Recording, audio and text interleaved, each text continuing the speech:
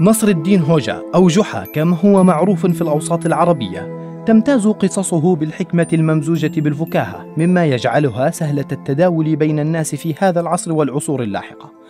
لتتحول فيما بعد إلى وسيلة من وسائل التعبير وطريقة للهرب من رقابة السلطة الشديدة. فانتشرت المسرحيات والمؤلفات والكتيبات التي يستخدم فيها نصر الدين كرجل يحاول نقد السياسات أو العادات المجتمعية السيئة.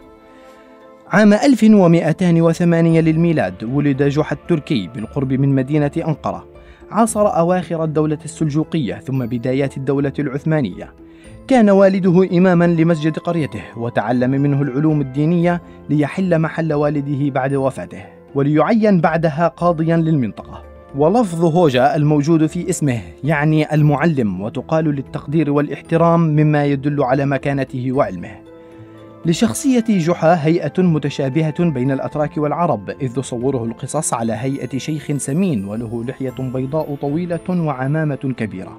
حتى بطريقة ركوبه على حماره الذي يرافقه في كل قصصه الطريفة فهي هيئة واحدة إذ تقول القصص إنه كان يركب على حماره ووجهه إلى الخلف. وأما عن سبب ركوبه بهذه الطريقة كي يتمكن من رؤية تلاميذه وتلقينهم الدروس أثناء تنقله وسفره. توفي نصر الدين هوجا في مدينة أكشهير التابعة لولاية قونيا ودفن في مقبرة حملت اسمه لاحقا ويعتبر ضريحه من الأضرحة التي يداوم الأتراك على زيارتها.